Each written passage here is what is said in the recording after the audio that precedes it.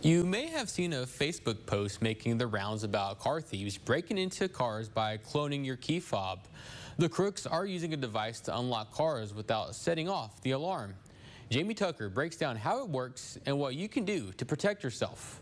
It's called a relay attack, and here's how it works. They get one bad guy next to the car, another crook is following you, getting close enough to you, or maybe ins even inside a store.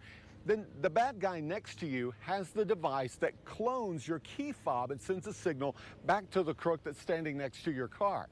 And then he unlocks it. Your key fob emits an RFID signal which unlocks the car. By cloning it, the device makes the car's anti-theft system thinks your key fob is next to it. No broken glass, no alarm. Just like you do when you return, the thief simply unlocks the car, steals whatever he wants, or even steals the vehicle. Now, here's the tricky part. If you lock some cars by using the inside door lock, it prevents the fob from sending a signal. That didn't work on my vehicle. Other cars might turn off the key fob if you lock the door with a key. Uh, you should try on your own vehicle to see if it works. And if that doesn't work, you can keep your key in something called a Faraday pouch or purse. I couldn't find one in my local Walmart store, but they are available at most online retailers.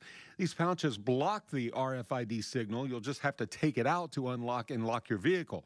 And if you're concerned about this, you could also disable the key fob by removing the battery.